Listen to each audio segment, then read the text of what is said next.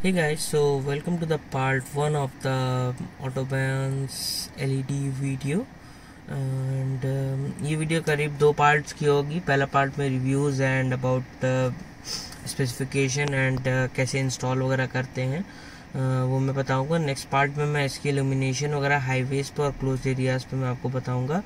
So stay tune for my for both of my videos so this is the company name. As you can see it is auto bhn or autobahn. Uh, whatever they say. So this is the light i bought for my hyundai venue. Uh, this is the hp3 hp3 socket headlight and uh, as you can see there is 9005 uh, section which is hp3 socket headlight bulb. And uh, this uh, headlight alone name means name is f3 gxp and uh, this is 10,000 lumen and 55 watts per bulb 10,000 lumen per bulb. And uh, here you have its specification on the back mm, let me just uh, here it is. You can uh, screenshot it and read the specs on that. So this is the light. Uh, this is the box which uh, which came to me.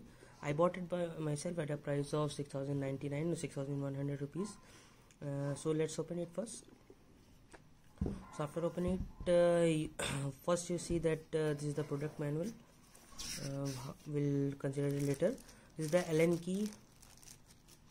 And these are the lights two lights actually appear. So these are the lights and uh, they literally look very awesome and very compact. Uh, i bought uh, eb3 section also eb3 light also which i think was not that compact as compared to these light hp3 uh, so these are the lights uh, as you can see this is the LED chip. Uh, both are the LED chip and uh, this is the point where you fit uh, Allen key and uh, just remove it by so this is its adapter.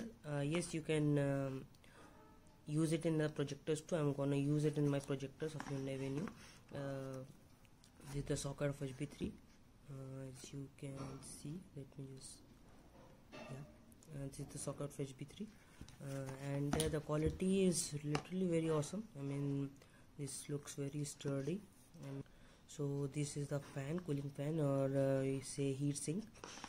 It's it is literally very compact as compared to EB3 LEDs I mean I bought a 4 section of EB3 LEDs uh, for my bike Apache RTR 160 and 204V uh, but uh, those were literally very big and their heatsink was very big.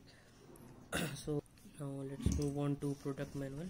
Let's put them aside uh, product manual looks like this uh, this is a warranty section card you can clear the warranty like this uh, this is the section where uh, it is shown that how you can fix it on different section on different sockets so product specification as you can see so so guys आपको projector में L लगाने के लिए सबसे पहले ये clips ये bumper clips जो आप देख रहे हैं ये बम्पर क्लिप्स इसको ओपन करना पड़ेगा टोटल ऑफ़ सेवन क्लिप्स हैं। एक ये है, दो, एक ये, फिर एक ये है, और एक आई थिंक सो ये रही एक क्लिप ये है अपनी ठीक है? तो इनको और फिर वन और तीन क्लिप आई थिंक सो नीचे होगी, और जस्ट एक टायर के यहाँ पीछे होगी। तो टोटल ऑफ़ सेवन क्लिप्स होंगी ओपन करने के लिए बम्पर क्लिप्स बोलते हैं इनको। सो so, इनको ओपन करने के बाद मैं एक दिखा देता हूँ कैसे ओपन होती है। For example let's take this one screwdriver है थोड़ा इजी प्रोसेस है मैं फिर भी कहूँगा आप प्रोफेशनल के थ्रू ही कराएँ। मैंने भी प्रोफेशनल के थ्रू कराया था बट मुझे अब आइडिया हो गया था तो इसलिए मैं कर सकता हूँ खुद से भी। सो so, जिस तरीके से अनलॉक हो जाएगी अब जस्ट आपको इसको इस तरीके से खींच देना। और ये ओपन हो जाएगा। टोटल ऑफ़ सेवन क्लिप्स आप ओपन करेंगे तो ईजी हो जाएगा। पूरा बम्पर आपका बाहर आ जाएगा। फिर आपका ईजिली हैंड पहुँच सक पाएगा प्रोजेक्टर प्रोजेक्टर के जो सॉकेट है वहाँ पे, यहाँ पे कहीं होगा वो प्रोजेक्टर का सॉकेट और इस पर आप पहुँचाने के बाद आप उसको ओपन कर सकते हैं, उसको अपने हिसाब से सेट वगैरह कर सकते हैं। अगेन इसको इंस्टॉल करने के लिए what you'll have to do is just take it and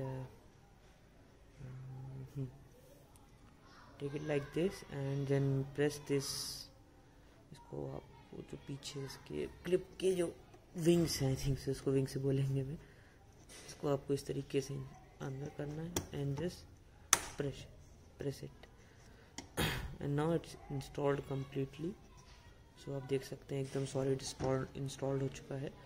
इस तरीके से आप इंस्टॉल कर लेंगे। एलईडी मेरी ऑलरेडी इंस्टॉल्ड है मेरी कार में। इस तरीके से कुछ एलईडी इंस्टॉल है। प्रोजेक्टर के अंदर तो इसलिए दिखेगी नहीं आपको।